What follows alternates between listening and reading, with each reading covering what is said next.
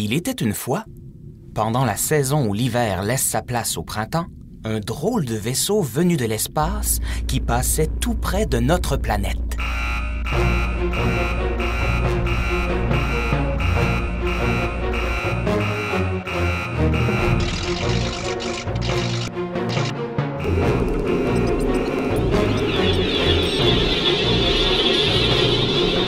Puisqu'il fallait se poser d'urgence quelque part, l'extraterrestre choisit un endroit discret et il se retrouve au-dessus d'une érablière.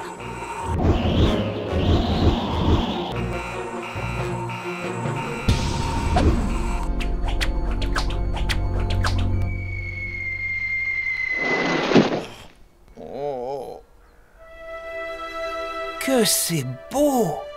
Quelle est cette matière transparente? se demande l'extraterrestre qui n'avait jamais vu ça.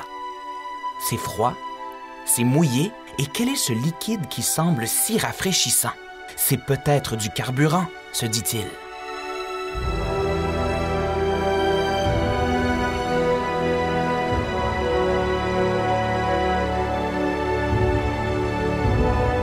Soudainement, il aperçoit dans la forêt toute blanche un drôle de bipède à grands pieds.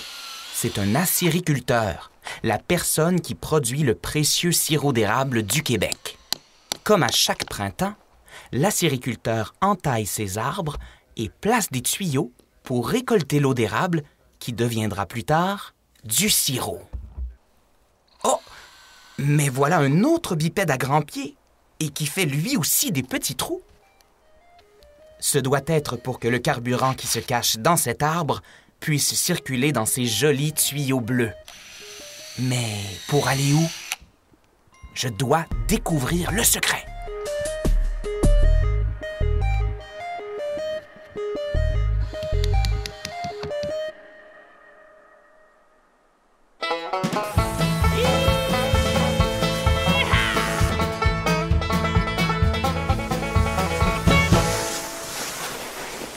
Hmm.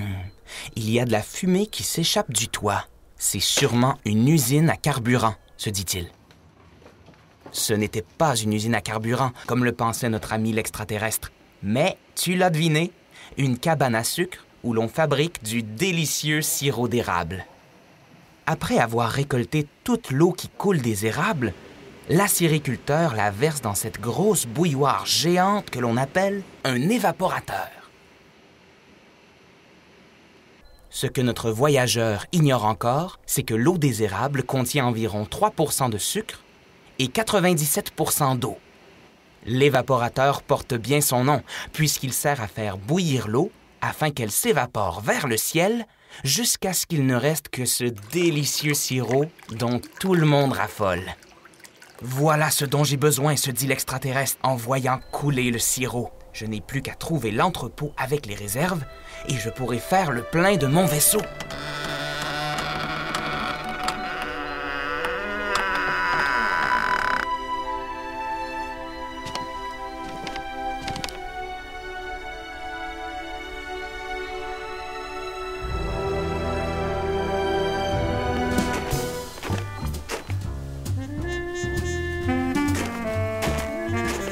Je mets tout le précieux liquide dans ma soucoupe, je pourrais rentrer sur ma planète.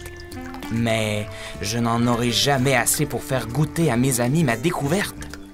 Si je veux revenir un jour ici, il va falloir que je ramène quelques échantillons de ce liquide qui a la couleur de l'or et le goût du bonheur.